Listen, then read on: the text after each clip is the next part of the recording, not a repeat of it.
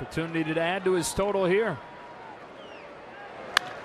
Bouncing ball, diving play at first by Bour. Gets the out at second, but the Dodgers get the game's first run.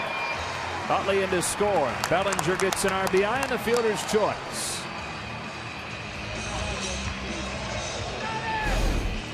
Well, he'll definitely add to this total, and I thought that ball was going to get through the hole right there, but Bour making a tremendous